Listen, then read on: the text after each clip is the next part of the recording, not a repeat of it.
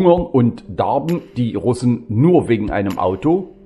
Westliche Medien und gut unterrichtete Bewohner von Territorien westlicher Demokratien werden nicht müde, die armen hungernden und darbenden Russen zu bedauern, die das schreckliche Schicksal einer Zwangsexistenz in der russischen Föderation ertragen müssen. Ertragen müssen diese Leidgeplagten aber auch die rasante Zunahme von Fahrzeugen auf Russlands Straßen. Im Januar 2019 waren in Russland durch die Verkehrspolizei insgesamt 51,8 Millionen Verkehrsmittel der verschiedensten Art registriert. Darüber informiert Afterstat. 43,5 Millionen Fahrzeuge davon waren Pkw.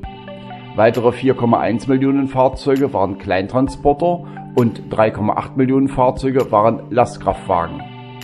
0,4 Millionen Fahrzeuge befinden sich in der Kategorie Autobus.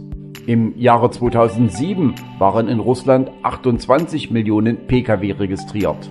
Dann begann die Weltfinanzkrise.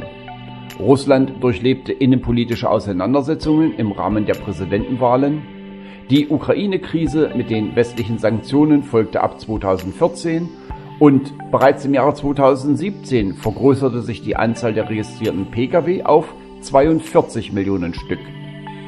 Ein Jahr später, im Jahre 2018, leisteten sich die hungernden und darbenden Russen bereits weitere 1,5 Millionen Fahrzeuge, so dass die Gesamtzahl der registrierten Pkw auf 43,5 Millionen Stück anwuchs.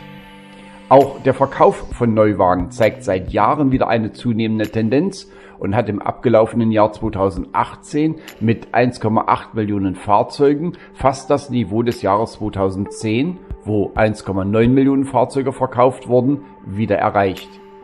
Bis zum Verkaufsspitzenniveau des Jahres 2012, wo 2,9 Millionen Neu-Pkw verkauft worden sind, ist es aber noch ein weiter Weg.